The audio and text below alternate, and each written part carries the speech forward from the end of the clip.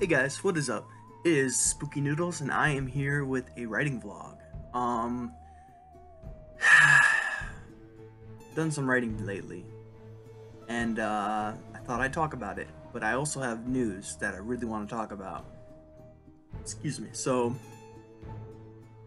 ignore right here. I got a little bit of a zit right there, so mm, yeah, you know how bad those things are.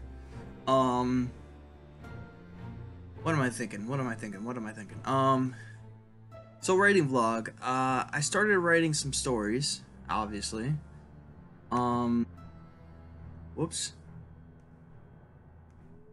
I started writing some stories. Uh, I'm editing a story right now. I'm also writing my novel. And I started writing Gray Matter 2. Yes, another story collection. Short story collection. Um, it's gonna contain stories that I previously, uh, like, there's a one story called Roadkill, um, which is about a guy who basically uh, attacks a woman and steals her car, and he's driving down the highway and he sees an animal in the middle of the road, and he could easily stop his brakes. He's out in the middle of nowhere. He could easily hit his brakes and just let the critter go. But he hits the gas and hits the critter. Well, it turns out stuff happens after that. So that's Roadkill. Then I have They Emerged from the Woods, which is an old story I wrote a while back. Um, I didn't think it was good enough for the first volume, the first uh, collection, but the more I thought about it, the more I was like, you know what, it's actually pretty good. You know, I put a lot of work into that. So that's going into the collection. And then I have this one that I'm editing right now called The Lancer Witch. Um, it's about, uh, how do I explain The Lancer Witch? Um, well, it's about these kids, these two bullies on Halloween, and basically they may or may not get their comeuppance. Um, I'm not sure. I don't really remember how I wrote it. but um those are the three stories in it so far. It's to be just like the first uh, collection where there's eight stories.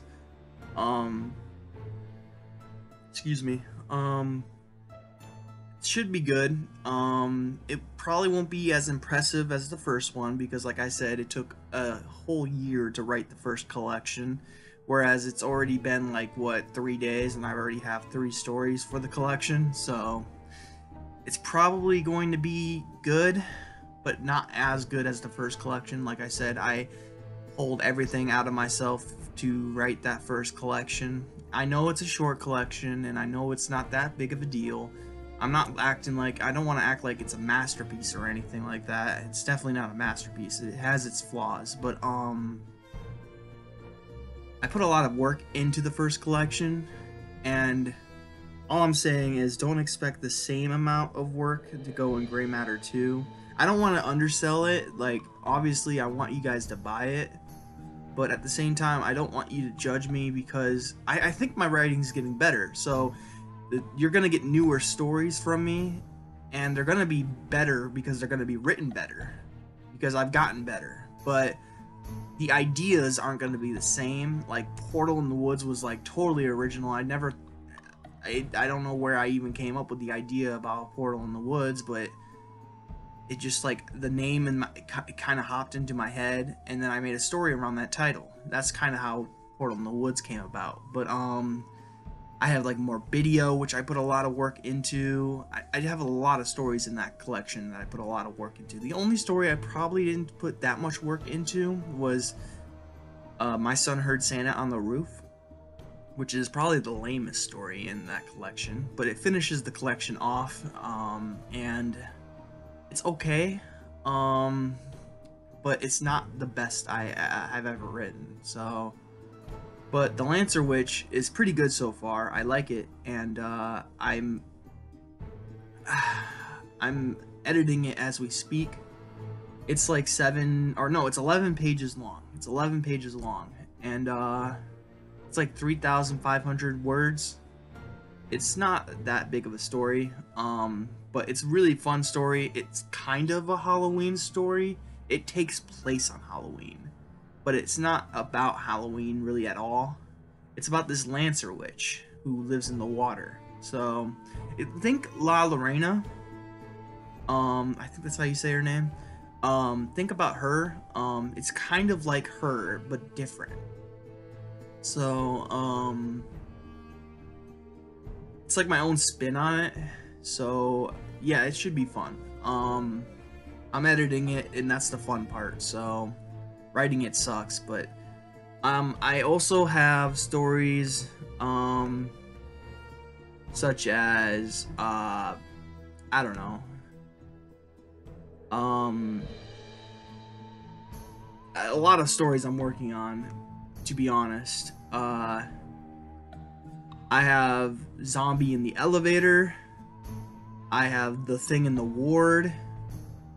I have The Laughing Epidemic. Uh, the Kid in the Black Hockey Mask. I just have a bunch of like spare blankets. I received an urn in the mail or it's just earn in the mail. I haven't decided yet. Doppelman. I just have a bunch of uh, a bunch of stories that I haven't even touched in a long time. They're just ideas. I quickly wrote a few paragraphs and then I never I forgot about them. So I have a bunch of stories that actually could make the uh, I'm not saying any of those stories are going to make the Gray Matter 2 in collection, but um, I almost called it an anthology. I learned that pretty early on that anthologies are different than collections. Anthologies, even though they are collections, are stories written by different authors, whereas a collection is written by one author. So, if you didn't know the difference, there you go. Um, I called my stuff an anthology for the longest time, and then my artist corrected me, and I was like, "Oh, damn! I feel like an idiot."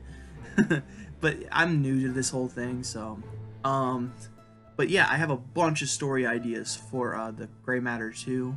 Coburn Ex- Expedition one is one of my favorite ideas, other than the Lancer Witch. Um, the Coburn Expedition is about a group of guys who who go out into the lake and great a Great Lake. I haven't decided which Great Lake. Probably Lake Superior, or no, not Lake Superior. Um, not Lake Michigan. Um, St. Clair, Lake St. Clair. Great, Lake St. Clair. I think. I I can't remember what lake I decided to pick. Um. But uh, sorry, my tortoise was distracting me. He's doing some weird thing. I think he's blind, guys. I feel really bad about it too. I don't know how he became blind, but he's blind. He's like trying to eat food that's not there. So it's like really weird. I'm really worried about him. But um anyways, um that is uh my my some of my ideas for Gray Matter 2. Like I said, Roadkill's in there and I like that story a lot It's a really good uh, story. A lot of my stories have to do with uh, karma, like people getting their karma, uh, their their dose of it. but not all the stories are going to be karma related, but uh, most of them are. Most of my stories, if you know me, are karma related. Like someone does something bad, and as a as a as a effect of it, something bad happens to them.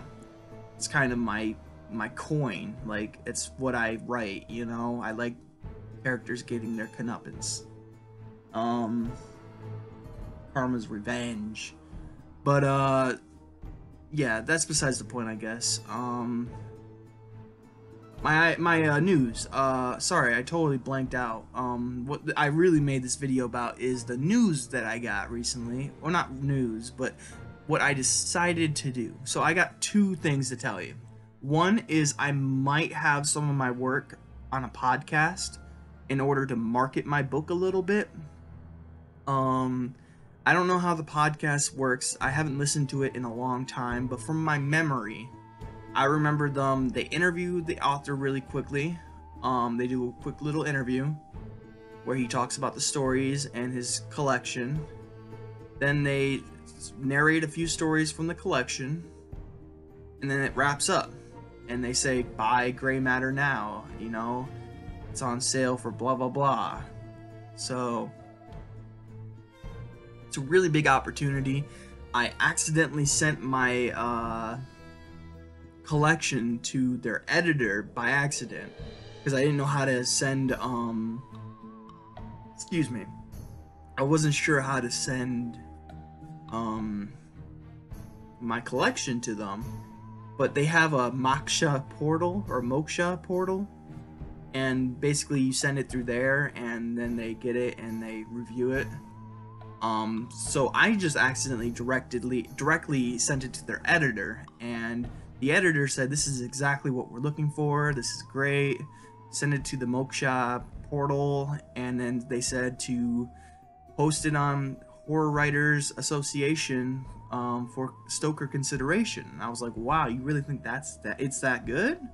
So, um, or maybe they were just being nice. I don't know. But uh, I like to think the uh, ladder.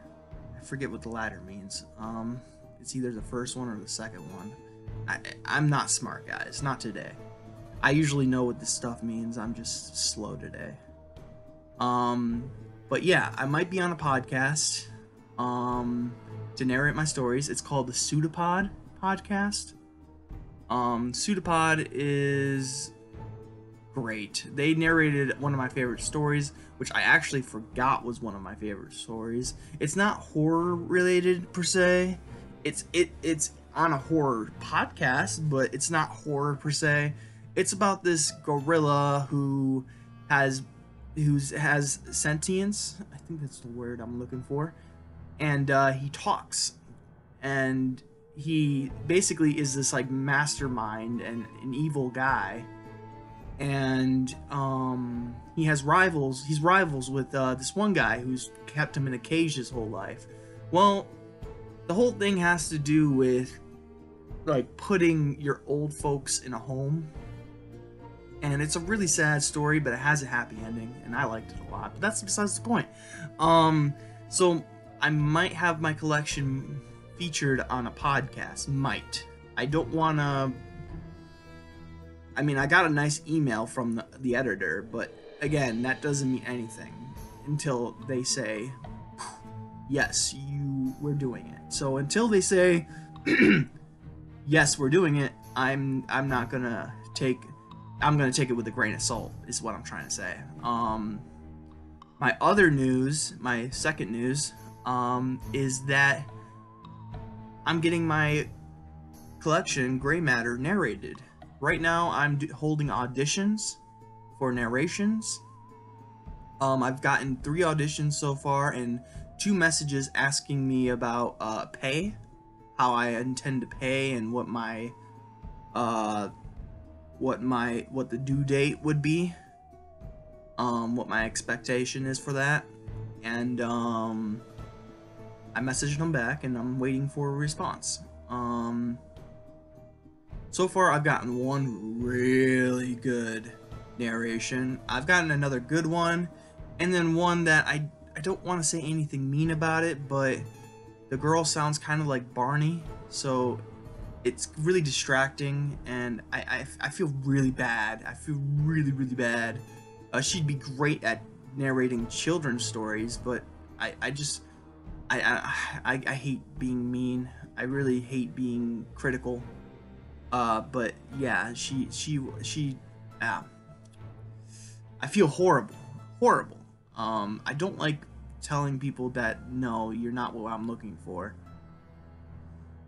It's just it just hurts, especially when someone worked up the courage to do it and yeah. But uh that's besides the point. Um I keep saying that. That's gonna be the video title. Uh, writing vlog slash that's besides the point. um other than that, though, there's not much to really talk about. Um, I'm writing my short story collection, my second one. I'm writing my novel, Symbiotic. And, uh, I have the money to get my stories edited, but I'm looking for a proofreader right now because, in all honesty, I've had my stuff edited before. I just need proofreading at this point, and uh, I'm looking for a proofreader. And yeah, we'll see what we find. But uh, the book is coming out. Um, the, second book I, I'm releasing is coming out probably sometime. If I'm being honest, I'm gonna be looking at two months for proofreading and editing. Then I'll pay my artist 25, which I've already paid him 25 for the wraparound. Um. So yeah, um, I, I already paid for the wraparound. I'm just waiting for formatting, or not formatting. Uh, I'm waiting for uh, proofreading and editing, so then I can um, so I can format it myself. Which I found a way to format it myself, which is very very cool. Um, very useful site called Reedsy. So that's very very useful. Um, and yeah, uh, what else to say? What else to say? What else to say? Um. Oh, um, I may be getting two of my stories narrated, and um, it's gonna be on YouTube. It's a way to help market my book. Um, don't know when it's gonna be coming out, but uh, I contacted my teacher, and my teacher's uh works with Chilling Tales for Dark Nights, and uh, we talked a little bit about uh, sending um, my stories to her so she can get the narrators to narrate it. I'm going to have Otis Jiry narrate No Smoking, and then I'm going to have a girl named Erica narrate uh, Highway to Hell. So that's really cool. Um, it will be on Megan Meehan's channel, not Chilling Tales for Dark Nights channel. Unfortunately, I could not uh, contact Craig for uh, uh, the talk about maybe marketing my book. Um, he's a very busy guy, so don't hammer him at all. Um, like I said, he's he's a really cool good dude and really cool dude, and he's just very very busy. He takes on way too many projects at once, so he just has no time to respond to me. Um, but I've helped sh- uh, Chilling Tales for Dark Nights with uh, donations. I donated $250 to their book that they're trying to make. Um, I did receive some stuff for it, but I just, I don't know. I'm part of their Dead Canary writing group. I haven't really done much in the group other than supply a story called Portal in the Woods. But um, other than that, it's just Lula's barking in the background. Um, it's just it's kind of frustrating to be honest. Um, I've done a little bit for them, and I thought maybe I can get a little bit back. Um, and uh, yeah, I'm not sure if that's gonna happen. So, but it's fine. It's no big deal. Um, I love Chilling Tales for Dark Nights to death. I'll always support them. Um, I just was hoping that maybe I can get in contact with Craig Groshek and uh, we could talk about maybe marketing my book. Not sure though. Um, but Megan Meehan's gonna do it on her channel, so that's really nice of her. Um, she's gonna have Otis narrate it and Erica narrate it, so I'm very happy about that. Um, I think Otis is perfect for no smoking because no smoking is about an old bitter man who smokes. So he's got that old raspy voice, and so does uh, Otis Jiry. So it's gonna work perfectly. And I'm sure Erica's gonna do great with uh, Highway to Hell. But uh, as always, that's my writing vlog. Um, I talked about a little bit of Gray Matter 3, about the podcast, and about about uh my narration for my book, my audiobook. Um, I will I will keep you up to date about the audiobook and the podcast and the gray matter too, obviously. But in the future, I might not do as many writing vlogs as I do do. I said doo doo. uh, I probably won't do a lot of um, writing vlogs um, because I'm trying to keep stuff secret. No, not really a secret, but I don't want to keep updating you guys with stuff that might happen. So um, I just wanted to tell you why I'm so excited right now. Um, and yeah, but that's been a writing vlog. I hope you guys have a good day. I hope you have a spooky night. I'll catch you in the next video. Peace out. Now I am become death, the destroyer